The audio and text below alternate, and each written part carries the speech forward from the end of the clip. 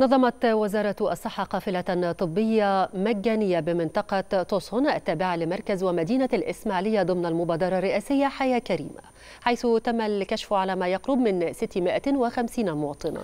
وضمت القافلة تخصصات طبية مختلفة ومتنوعة بجانب تقديم خدمات الأشعة والتحاليل الطبية وصيدلية متنقلة تتوافر بها كل الأدوية.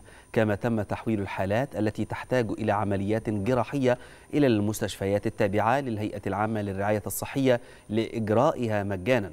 وتأتي تلك القافلة ضمن خطة القوافل الطبية المجانية التي تنظمها الوزارة بالقرى والنجوع الأكثر احتياجا لتحسين مستوى الخدمات الطبية وذلك في إطار المبادرة الرئاسية حياة كريمة.